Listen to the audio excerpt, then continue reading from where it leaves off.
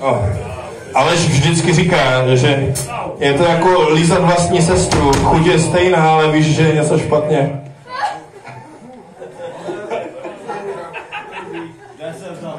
A jako chutná to daleko hůř než moje sestra. Já samozřejmě nemám sestru. Já mám bratra, v pohodě.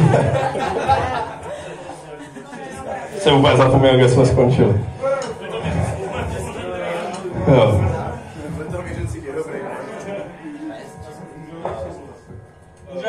Počkej. Jo. Je to jednoduchý.